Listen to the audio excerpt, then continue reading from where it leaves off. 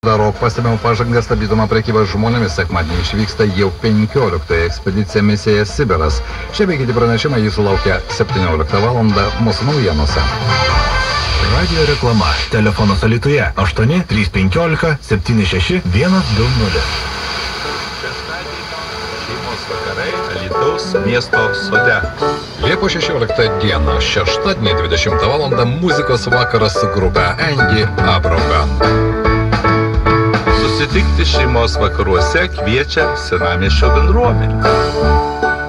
TV3 pristato visų mylimiausi herojai sugrįžta naujausioje smagioje animacinėje komedijoje visai šeimai. Ledynmetis susidūrimas. Šitie išgelbės pasaulį. Eikitės, kietuoliai, nevykėlė jūs. Kinedainuoju. Ledynmetis susidūrimas jau vyksta kinuose. Radio stoties FM99 rekomenduoja.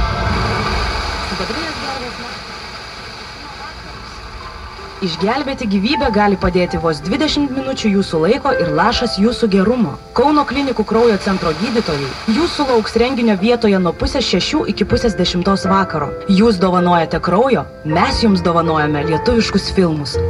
Ateikite. Liepos 23-ąją 10 val. vakaro Alituje, miesto sode. Renginį organizuoja Lietuvų kino akademija. Renginio remėjai Lietuvos kultūros taryba, Kauno klinikų kraujo centras, asociacija Avaka.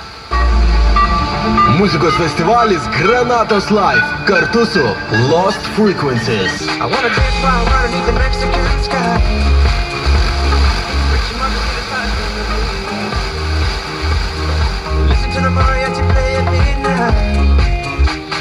Wilkinson, Jazz Glynn, Ella Air ir daug kitų. Rūgpiučio 5-7 dienomis visi susitinka Rumšiškėse. FM 99.